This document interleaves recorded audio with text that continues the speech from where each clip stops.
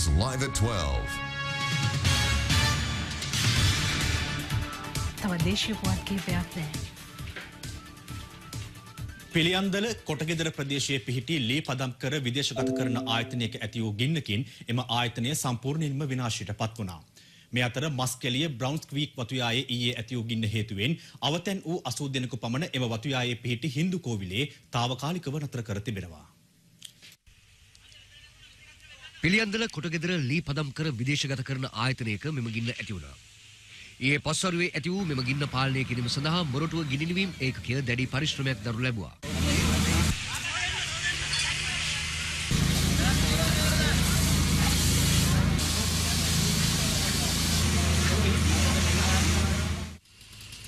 ඒ අනුව පැය කිහිපයකින් ගින්න නිවා දැමීමට හැකි වුණා. අදාළ ආයතනයේ ගින්න ඇතිවන අවස්ථාවේ පිරිසක් සේවය කරමින් සිටියද ඔවුන් කිසිවෙකුටත් හානියක් සිදු වූයේ නැහැ. විදුලි කාන්දුවක් හේතුවෙන් ගින්න ඇති වූ බවට සැක කරන අතර ගින්නෙන් සිදු වූ අලාභය පිළිබඳව මෙතෙක් තක්සේරු කර නැහැ. මේ අතර මස්කෙලිය බ්‍රවුන්ස් වතුයායේ වතු නිවාස පේලියක ඊයේ හටගත් ගින්නෙන් විනාශයට පත් වූ නිවාස 16ක පදිංචිව සිටි 80 දෙනෙකු පමණ මේ වන විට අවතැන් වී සිටිනවා. ඔවුන් එම වතුයායේ හින්දු කෝවිලේ తాවකාලිකව නතර කිරීමටයි ආපදා කළමනාකරන ඒකකයේ පියවරගෙන ඇත්තේ. ඊයේ දවල් 12ට පමණ මෙම ගින්න ඇති වූ අතර වියලි කාලගුණය හා තද සුළං හේතුවෙන් ගින්න සෙසු නිවාසවලටද පැතිර ගියා.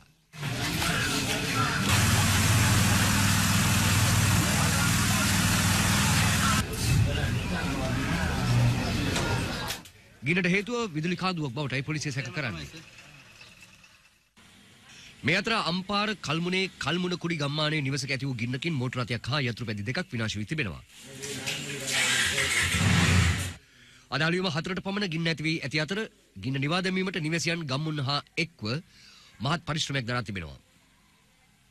යතුරුපැදි දෙක සම්පූර්ණයෙන්ම විනාශ වී ඇති අතර මෝටර රථයටද දැඩි අලාභ සිදු වුණා. මේ නිසා ලක්ෂ 8ක පමණ අලාභයක් සිදු ඇති බවයි පොලිසිය පවසන්නේ.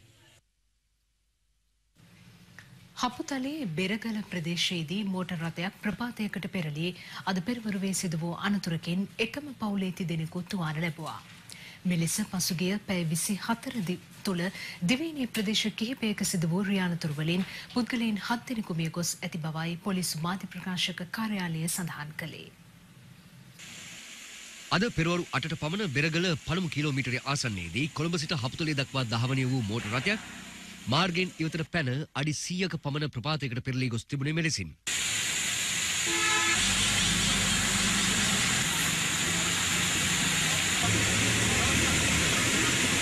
අනුතරින් මෝටර් රථයේ ගමන්ගත් තිදෙනාම තුවාල ලබා හපුතලේ දිසාරෝහලට ඇතුළත් කෙරුණා. රියදුරට නින්දයාම හේතුවෙන් අනතුරු සිදුවී ඇති බවයි හපුතලේ පොලිසිය පැවසුවේ. මේ අතර යතුරු පැදියක් පාපැදියක ගැටි ඊයේ රාත්‍රියේ සිදු වූ තවත් අනතුරකින් යතුරු පැදිකරු ජීවිතක්ෂයට පත් වුණා. යතුරු පැදිකරු සිය පුත්‍රයාද සමග ආරක්ෂිත හිස්වැසුම් නොමැතිව ගමන් කරමින් සිටියේදී මෙම අනතුර සිදු තිබෙනවා.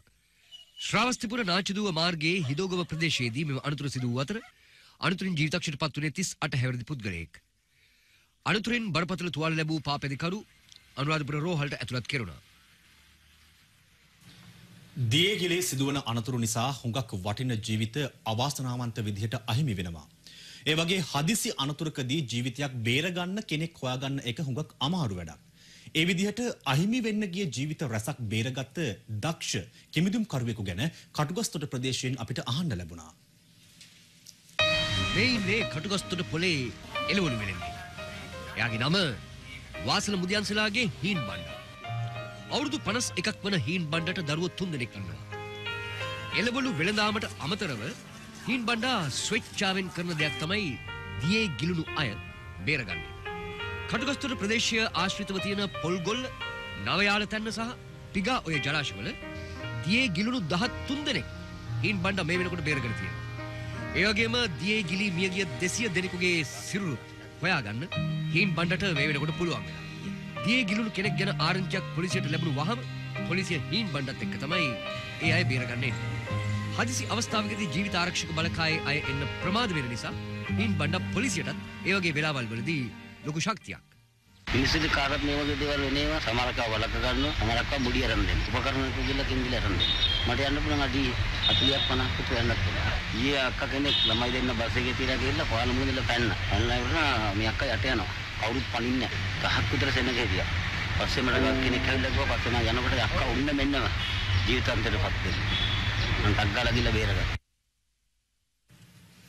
පිළියන්දල කරදියාන කුණු කන්දට එරෙහිව ප්‍රදේශවාසීන් අද විරෝධතාවක් පැවැත්තුවා.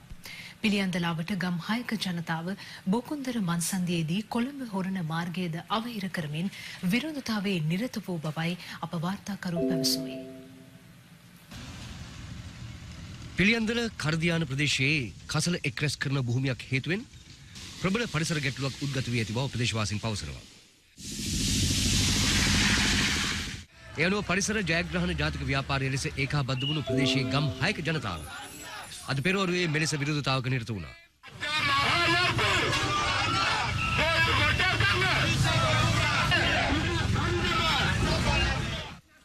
බෝකුන්දුර මන්සන්දියට පැමිණි ඔවුන් හොරණ කොළඹ ප්‍රධාන මාර්ගයේ එක් මන්තීරුවක් අවහිර කරමින් විරෝධතාවයේ නිරත වුණා.